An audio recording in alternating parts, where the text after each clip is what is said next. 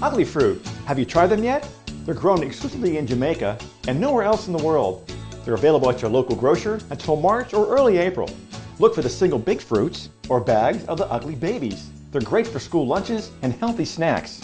UGLI tangelos are believed to be a cross made by nature between a grapefruit and a tangerine. You can open it like a grapefruit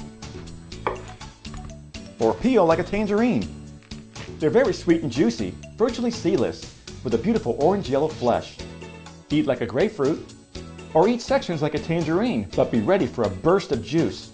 Squeeze halves for a delicious juice, and boy do they have a lot of juice. Try them in citrus salads, and many other great recipes found on ugli.com. So check it out and enjoy.